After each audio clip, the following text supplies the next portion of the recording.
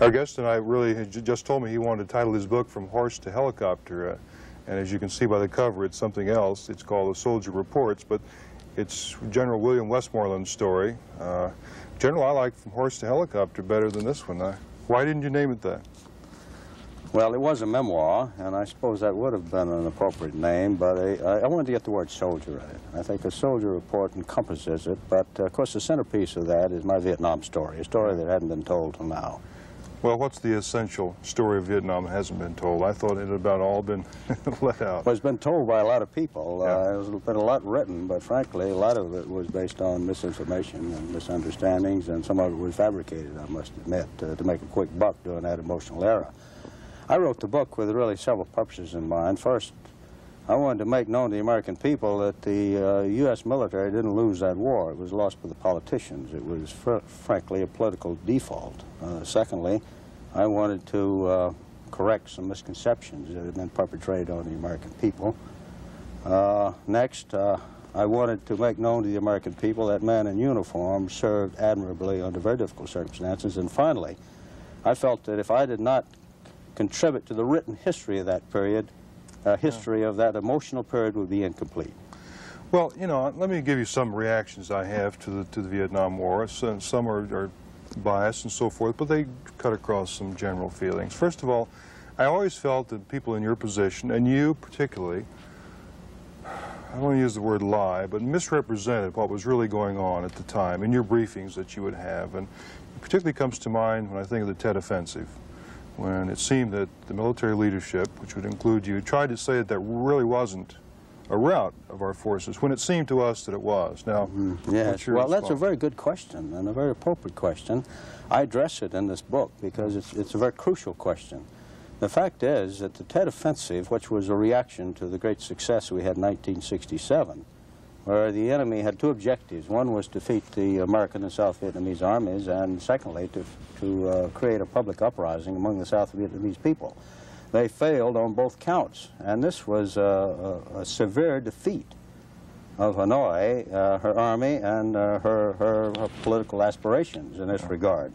It was not well reported by the press, and I think any uh, reasonable and objective uh, newsman will admit that they misled, the, the media misled the American people by giving the impression that we were the one defeated. Uh, I tried to tell them that this was a temporary setback, but in the final analysis, the enemy was going to be defeated, but of course they wouldn't accept that, but, but they will all accept it now. But you appreciate the, the, the impression from here was that uh, it was like a guy in a ship which is about to go under, and you're saying any minute we'll have this under control, and you're, you're going out of sight. Well, that certainly was the impression given, but it was a false impression, and it was not the fault of the military. The military reporting at that time was very accurate, and the forecasts that were made by myself and others turned out to be accurate. Uh, the, the people at Arrow were the, uh, the people that reported it on the scene, and, they, and I, I, I can't be too hard on them for the simple reason that this was the first war ever uh, covered by the media without benefit of censorship. And this is the first war ever covered on the television screen and piped into the homes of America. And the war was reported like crime on the police beat or a political campaign, no holds barred, where news is the unusual and the sensational. And when something sensational uh, occurred, which the Tet Offensive was, I mean, they just went all out. And it gave the American people a false impression. That, of course, seems to be a, you, your view you're expressing is a minority view, I think you appreciate, of all the books that have been written. And uh, I guess it's, is, is it fair to say it's predictable that you, that would be your viewpoint? Well, I don't think that's an accurate statement. Okay. Uh, Oberdorfer's uh, book on Tet, uh, a man named uh, Braestrup uh, have, has uh, recently written two volumes uh, on the reporting of the Tet Offensive, and he's, he's critical of the press. Uh, and the fact is that uh, books that have been written today are not authentic books. I was in a position of responsibility and authority. I can document what I say in that in my files. okay. So the, this, the essential message then that you're saying is that we, what could we have done if the politicians had left the Army alone? Well, I cover that. We could have uh, we could have succeeded in our objectives, but we failed. And uh, see, my concern is that we're going to make the same mistakes again. And I, I cover the various factors, uh, the political decisions that uh, that interfered with uh, with uh, a, a victory or a success. Success is a better word than victory in view of Yeah. the nature of the conflict.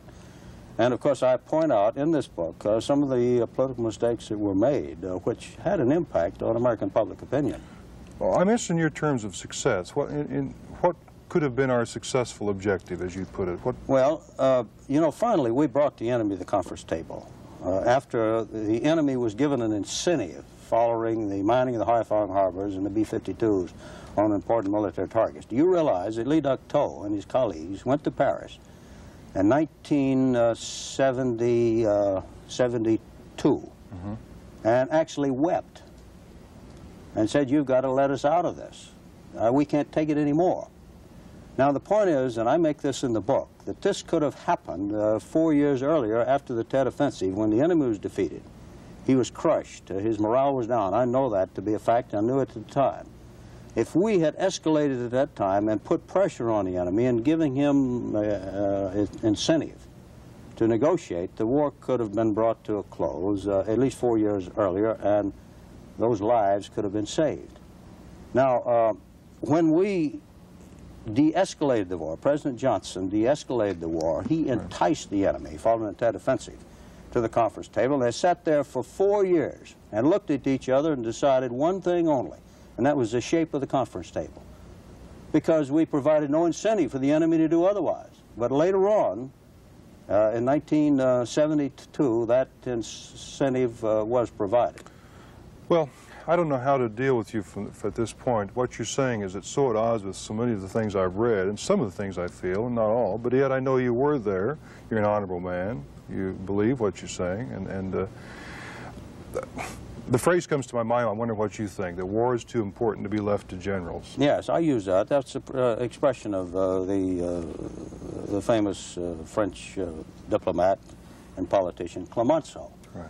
And I, uh, it's, uh, I think, quite appropriate. I used to uh, use that expression frequently when I met the press, uh, when I was uh, uh, in, in charge of our forces in Vietnam. But on the other hand, uh, it shouldn't be exclusively left to the politicians. Uh, when our country makes the very difficult decision to send our young men to war, the country has an obligation to support them. And uh, under those circumstances, the military should have a much louder voice than they did during the course of that, uh, that, that conflict, which uh, was, was a disgraceful thing for the United States. We actually enticed this young country to our bosom. And in the final analysis, we deserted them and we betrayed them, and this is nothing to be proud of. Do you feel personally that Vietnam was a failure for you as a general and as a military I, man? no, I, I do not. Uh, I, uh, I, let, uh, I let the record of my performance uh, during my four and a half years uh, stand on its own, and uh, I uh, have no concern as to the way history will judge it.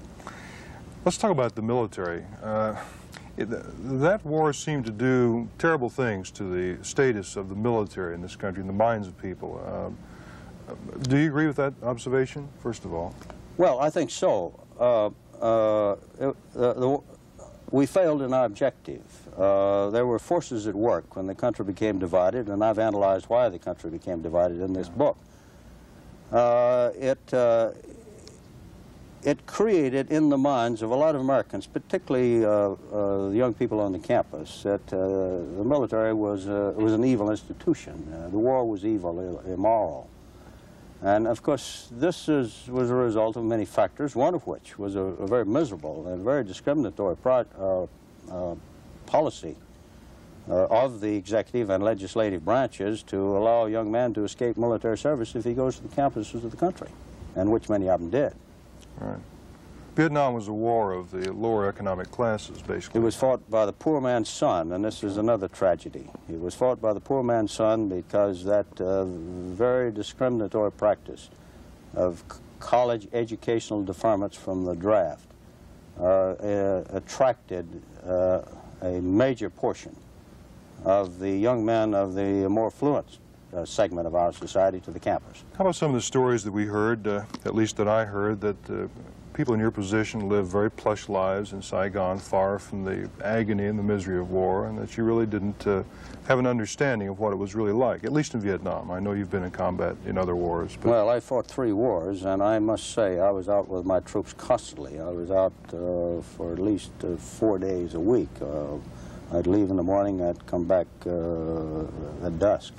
I was with my troops constantly. Uh, yes, I, I had uh, comfortable quarters there. I wouldn't say they were plush, but they were comfortable. But uh, after all, I was there for four and a half years. I was separated from my family three and a half of those years. My family was there with three young children the first year.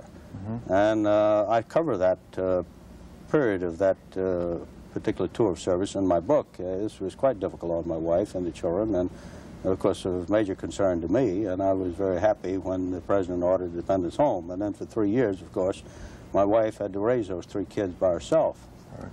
Well, I always wonder about how you how you deal with it. I, I read several books. One I recall uh, by, is called Body Count by a local man, uh, Bill Huggett. who was a, an officer in Vietnam, and one of the points he was he was making in the book is that it becomes just a numbers thing. It's the body count is a number thing. It doesn't relate to the death and the agony and the misery. And I wonder, talk about that for a moment as a general. Well, see, this was uh, uh, the constraints imposed by the politicians resulted in it being a no-win war.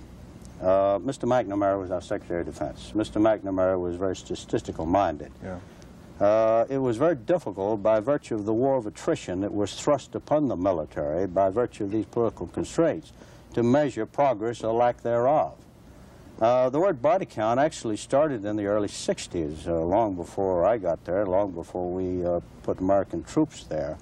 And it uh, was a technique that the Vietnamese instituted themselves to try to appease the press because the press were questioning the reports that were made from the battlefield. In order to try to give greater validity uh, uh, as to the casualties inflicted on the enemy, uh, and, and to satisfy the press, uh, they started this word body count. Now, this was a very repugnant term to me, but we were stuck with it. Yeah. How about words like morality, sin, right, wrong? How, how do they relate to a professional soldier in terms of war? We, we tend to think of war as uh, Well, you know, professional soldiers have a very high code of ethics, uh, not only uh, with respect to uh, uh, their, their personal conduct, uh, uh, uh, where we hope that the commission officers honest in word and deed, and I think uh, most of them are. Yeah. And this is so important on the battlefield, and so important in view of the sensitive uh, uh, situations that uh, they have to encounter. Uh, but uh, there's also uh, a uh, international uh, agreement uh, associated with the laws of war, which uh, referred to as the, uh, the, the Geneva Conventions. And this prescribes certain things that you can or cannot do on the battlefield. Now, uh, every uh, soldier, of course, has the right and the duty to defend himself. Every soldier has the right and duty to, uh, to carry out his orders as long as those orders are legal. But no soldier has a duty. As a matter of fact, he is prohibited from carrying out an illegal order. And, uh, of course, uh, the My Lai incident, which, uh, Yes, which right. everybody is so sensitive to. Right. Uh, it is alleged that an illegal order was given, uh, uh, and uh, at the company level, uh, uh, uh, that matter, of course, was dealt with in the courts. As far as Lieutenant Calley is concerned, uh, uh, he he was tried and convicted, and he he was associated with a illegal conduct, uh, not only in the matter of supervising his men, but also in leading his men in illegal action. Now, I have um, no sympathy for what Calley did, but I have compassion because Calley was a victim of that educational deferment policy. In all other wars, the military have drawn their officers from the college campuses. That pool of officers were denied the military during the Vietnam War. Uh, the anti-war activists uh, struck out at ROTC and practically crippled that on the campus. Therefore, in order to procure the officers that were needed, uh, the Army and the other services, to a lesser degree, had to lower their standards, and some marginal people, uh, Lieutenant Calley being a case in point, were commissioned. If it had not been for the educational deferment policy, Lieutenant Calley would have never been an officer. Do you think he was a scapegoat? In other words, should more people have been punished for My Lai? Well, any number were charged, and any number were tried, but of course, uh, uh, uh, the military court system is just like the civilian court system. Yeah. They can be indicted, they can be put to the grand jury, and they can be put before a jury. Uh, but uh, the jury has to decide. Are you bitter about Vietnam? No, you, I, I- and there's no bitterness in my book, and I don't think you, uh, Yeah, well, no, you I get a bitter tone in my, my Well, I do occasionally. I get a feeling that you're the press no, and no, politicians. No, and, no, let's put it this way. Uh, I think that we, uh, we should realize that Vietnam was a failure. Uh, uh, it's nothing that America should be proud of. We should not sweep it under the rug. We should study where we, we failed.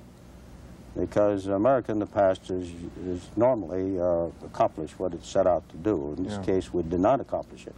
So there are lessons to be learned, and if these lessons are heeded in the future, we can come out a stronger nation. But I am not one to sweep it under the rug, nor am I one to look for witches. I think the Congress has found all the witches uh, we can tolerate for the moment. Uh, but uh, you will note no bitterness in my book, uh, but uh, I, I think you'll find that my book uh, is an objective one. And if uh, there's a tone of bitterness in my, um, in my language, it's, uh, it's a matter of emphasis, not bitterness. Okay, fine. Very quickly, we don't have too much time, but there's a lot of things to ask you. You retired and went. You ran for governor of South Carolina. Uh, for the uh, uh, Republican nomination. Right. Why? Well, President Ford called me, uh, Arnold Ronald Reagan uh, encouraged me, uh, George Bush twisted my arm, they ran a draft Westmoreland campaign, and finally I got in a position where I felt that I would be, say, turning my back on uh, the people of my home state, a state that I had lived in in 40 years, I might add, but if I didn't get involved, and I thought at the time that if I uh, made no other contribution, I would uh, be associated with developing a, a stronger two-party system, which was very much needed in the state of South Carolina, and I succeeded in that regard in that uh, we now have our first Republican governor, and I feel that this country should have two viable political parties. Did you see any difference uh, from uh, from the politicians uh, in party loyalty in terms of the conduct of the war? Did were Republican politicians more sensitive to the military needs, or were the Democrats? Or Well, uh, the Vietnam War was, was not an issue, and uh, nobody tried to use it uh, against me during the course of, uh, of this campaign. Uh, let me uh, hasten to add that I was a very poor politician. I was uncomfortable, and I was just about as inept as you could get as a politician, Really? as you probably could suspect. would no, I think you'd be great. You have a But- great presence. and But, uh, not well. really. I, uh, I, I was, uh, I, I really was, uh, was very inept, and I was very un, uncomfortable. But the Vietnam War was, was, was not a campaign issue. But one thing, and this is an interesting point, that was an issue. As a military officer, and a military officer must be apolitical and nonpartisan. I had never voted. Really? Yeah. Now, you can understand that, and I think anybody who's Sure. ever been in the service can understand it, but the average voter, he couldn't understand it. For that just to be said sounds like a real slam. It really does. Uh, yeah. And it, it's, uh, unless one is, had, uh, understands and has been associated with the military and realizes why they have to be nonpartisan, uh, it, it uh, can give the connotation uh, that uh, you're not civic-minded. Yeah, yeah. Will we have another Great War? Uh, When I say Great War, I'm thinking of World War II. What, what's down the road for civilization? Well, you know, perhaps the wisest of all philosophers, Plato, said, only the dead have seen the end of war. And I think this is a, probably a true statement, regrettably. I mean, uh, mankind has been searching for utopia in the absence of war for, uh, for generations and centuries, and we will continue to do that. But really, the best road to peace is to be prepared for war, and of course, this is one of the dictums of George Washington. And if we lower our, uh, uh, our guard, uh, if we reduce our military forces to the point where a would-be enemy perceives us as a pushover, uh, we could have another war.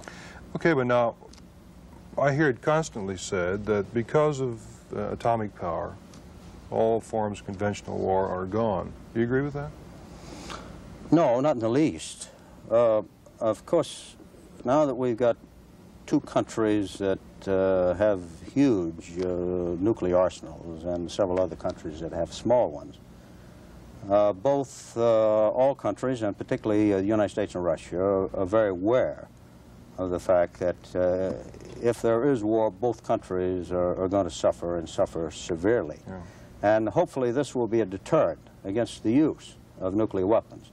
But below that threshold, where you get into conventional weapons, uh, the prospect of the use of conventional weapons, if there, there comes a conflict that cannot be decided by political means and uh, diplomatic action, and where uh, there's a great deal at stake for, for our country, such as our physical security, uh, the viability of our economy that could be jeopardized by actions uh, by hostile power, uh, or if our, our freedom, of course, uh, is, is being threatened. Uh, uh, war is, is quite conceivable uh, in our national interest. And I think it will have to be in our national interest, and the Congress and people will have to be convinced of that before we go to war. But even at that, it'd be very foolish to go to nuclear war because we, uh, inevitably, we're going to suffer greatly by virtue of this. But uh, by conventional war, uh, and that's why it's so important that we have these conventional forces, uh, we would be in a position to protect our interests. I hear people say that the military, and I don't mean in, in any reflection on you because you're a very obviously brilliant man, but that the military does its best to only percolate to the top those people willing to go along, to keep their mouths shut, to not cause waves, to not dispute. And I think we all know that all institutions need activists and people Right. who are willing to say that's wrong. But uh, what, what's your observation? Well, I think that's a very perceptive comment that you've made. And I think in any highly regimented uh, institution, uh, there is a tendency in that direction. When I was Chief Staff of the Army, I was very sensitive to this. And I revised the Army's fitness report, the Army's efficiency report. And I put an item in there that every rating officer had to, uh, had to address. Is this officer a yes man? because I hate yes men. And I always told my staff, I want you to be critical of my decisions and let's fight it out. But I said, once I have made my decision, and after you've had your day in court, so to speak, Right. uh, we cannot accomplish the mission unless we close ranks and, and, and, and get about it. I'm glad to hear you say that. Uh, I wish we had uh, another half an hour to go. You're obviously a man of ideas. You had a heart attack. Are you fully recovered? I had uh, a setback about two years ago, uh, but uh, the doctor says I can uh, do anything now. I'm Good. under no uh, dietary or uh, uh, control, or I take no medication. And I'm playing golf, and Well, I can't great. play tennis again, but I haven't started that yet. Well, that's all right. General Westmoreland, thanks very much for being with us. We'll be right back.